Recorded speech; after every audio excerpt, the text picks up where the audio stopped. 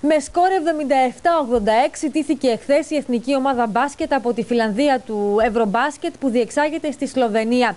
Οι παίκτες του Αντρέα Τρινκέρι, παρά τις δύο ήττες από τις ομάδες της Ιταλίας και της Φιλανδίας, προκρίθηκαν στη φάση των 12 του Ευρωμπάσκετ ως ε, τρίτη ομάδα του τέταρτου ομίλου και την πέμπτη στις 3.30 καλούνται να αντιμετωπίσουν τον τρίτο του τρίτου ομίλου.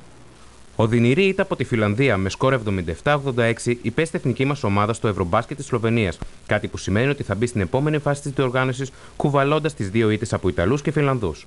Πολύ κακή εθνική μας ομάδα δεν βρήκε ποτέ ρυθμό και όντα ευάλωτη στην αμυντική της λειτουργία, ιτήθηκε δίκαια από τους αφιονισμένους Φιλανδούς. Τα δεκάλεπτα ήταν 23-22 το πρώτο, 35-36 το ημίχρονο, 47-57 το τρίτο και 77-86 τελικό σκορ.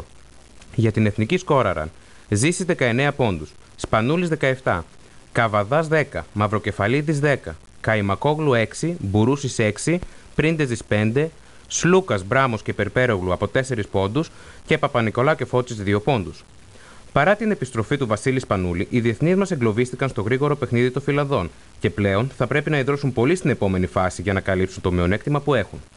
Το κακό για την εθνική είναι διπλό, καθώς μεταφέρει στην επόμενη φάση τις δύο ήττες από Ιταλία και Φιλανδία και καμία νίκη. Εν αντιθέσει με την Ιταλία που μεταφέρει δύο και τη Φιλανδία που μεταφέρει μία. Οι δύο αυτές ομάδες μαζί με την εθνική μας προκρίνονται στη φάση των 12 του Ευρωμπάσκετ. Συν της άλλης και οι άλλες ομάδες με τις οποίες θα διασταυρωθεί θα μεταφέρουν νίκες. Έτσι, το συγκρότημα του Ανδρέα Τρινκέρι προκρίνεται ως η τρίτη ομάδα του τέταρτου ομίλου και μεταφέρει στην επόμενη φάση μόλις δύο βαθμούς, Επόμενο παιχνίδι για την Εθνική την 5η στις 3.30 στη Λουμπλιάνα με τον τρίτο του τρίτου ομίλου.